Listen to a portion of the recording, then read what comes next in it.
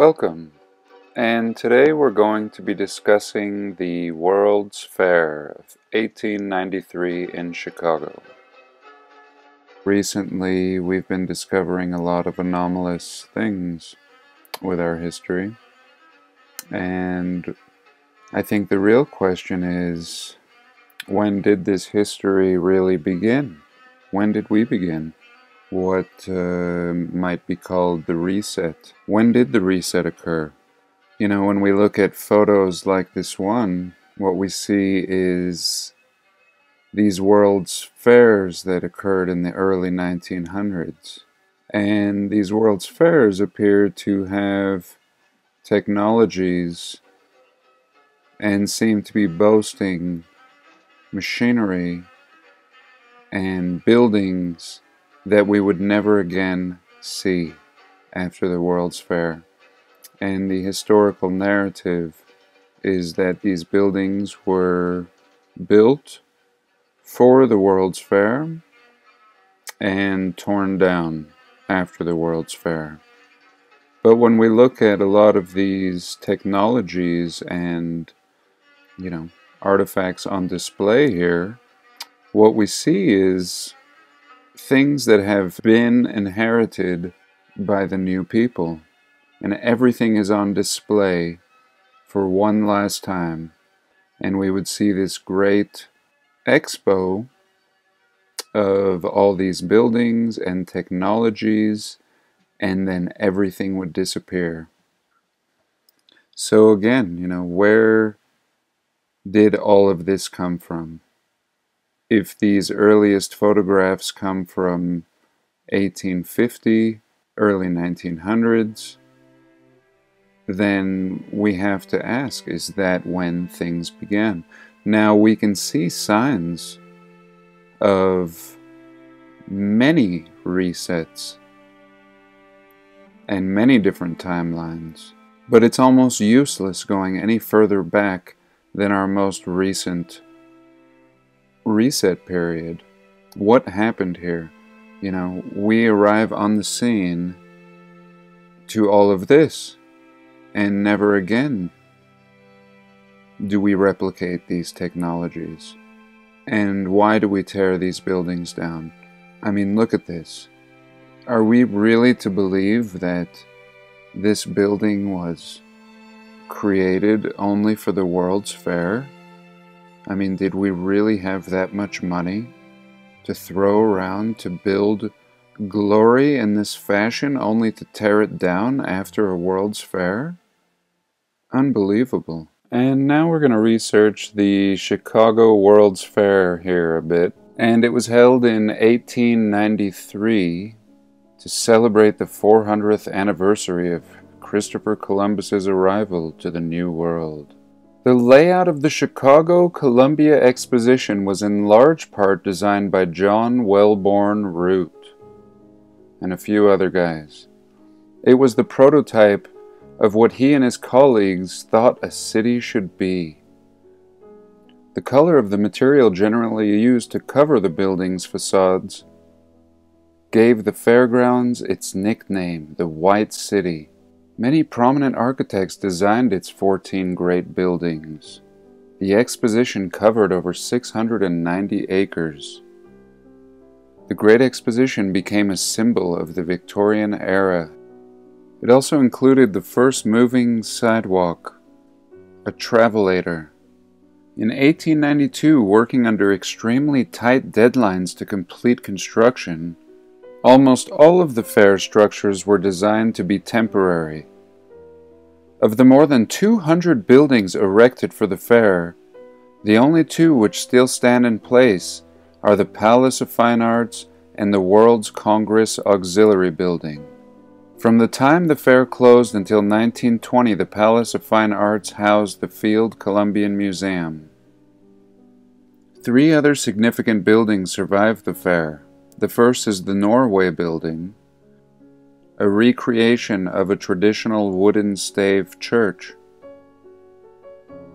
The effort to power the fair with electricity, which became a demonstration piece for Westinghouse, had been developing for many years. It was called the War of the Currents between DC and AC. This was also the first time that power would be displayed for mankind. And this was a fight between Edison and Tesla, and Tesla would eventually win this contract. Now, here is a look at what they called the White City. Now, apparently, this was constructed once again in a few years for the World's Fair. Now, if this isn't the hokiest story I think I've ever heard in my life, then I don't know what is. If this looks like this was something that was built within a few years for the World's Fair in Chicago and then torn down, then there's no limit to what we could be force fed. Once again, we really, really have to be logical here. Now, if we didn't know that this was in Chicago, we certainly might think this was in Europe.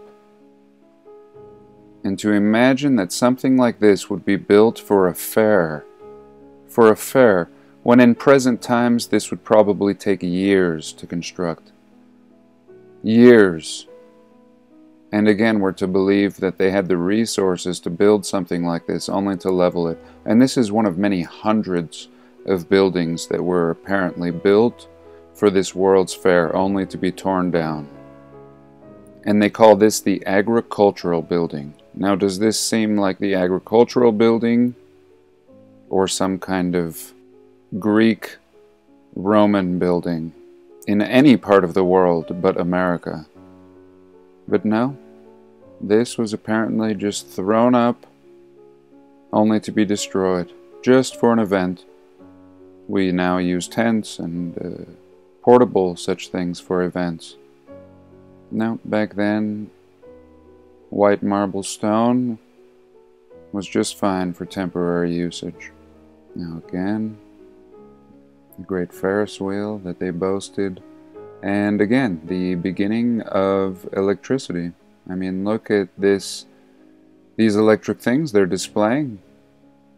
You know, some kind of uh, energy conducting mechanism. We don't even know, but apparently that was something that you could display in the late 1800s at the World's Fair. These may have been Tesla's displays. It was the first time he would introduce his motors to the world. Again, fully lit up, late 1800s. But again, you know, was this infrastructure already here? Or was this really built for a single event? A temporary event? And the Ferris wheel, pretty interesting Ferris wheel, pretty amazing actually a true monster. Just like everything back then was glorious. Well, so is this Ferris wheel. Look at this. A little apartment. Each uh, each cabin is the size of a studio apartment. Amazing. And again, you know, ask yourself, could this have been built for one short little event? This kind of detail and how identical it looks to what we find all over the world.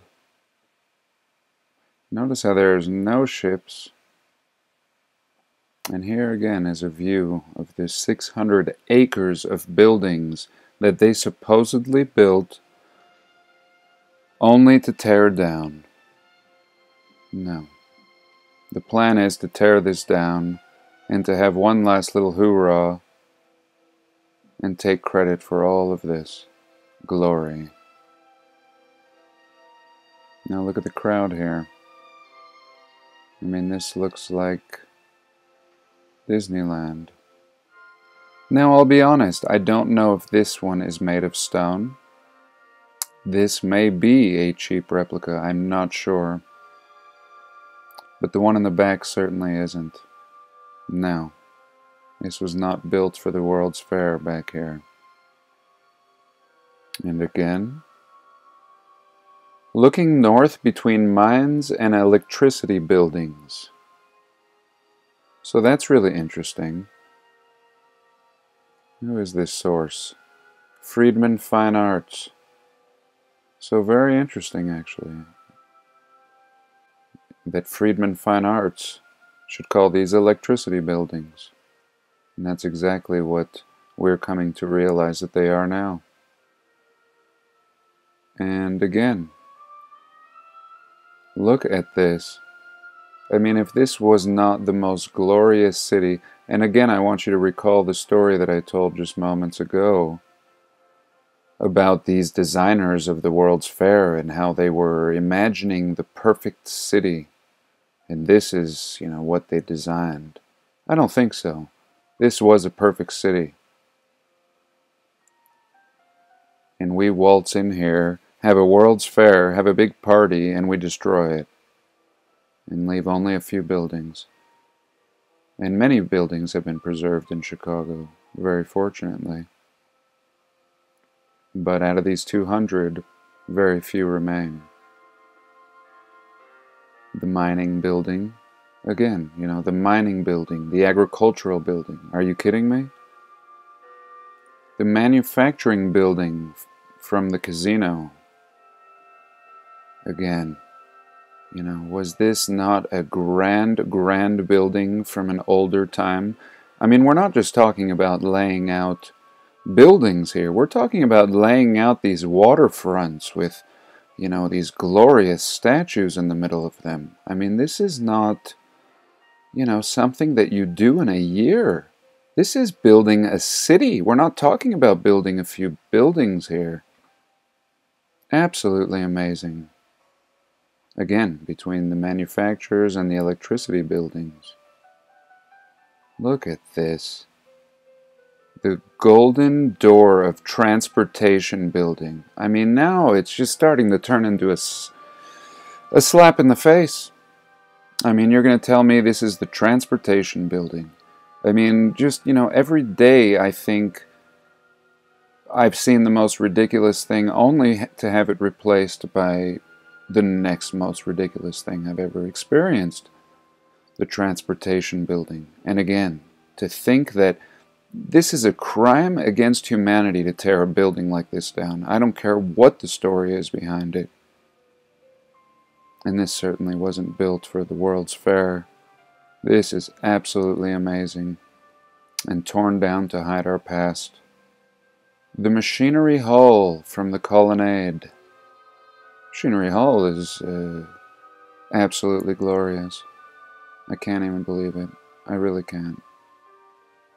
We've gone backwards. Again, the agricultural building. How could you even conceive of calling this an agricultural building when this is like the Grand Palace? You know, this is just mind blowing, and uh, I'm pretty much speechless. I really am. Now you can tell that Antiquitech has been removed from here. You really can, knowing nothing about this. The woman's building. This is just something else. This is just the most amazing thing that could have been in America. But some has survived. Absolutely amazing. To think that they had the nerve to tell us that this was built for the World's Fair as they wiped out our history in front of our very eyes.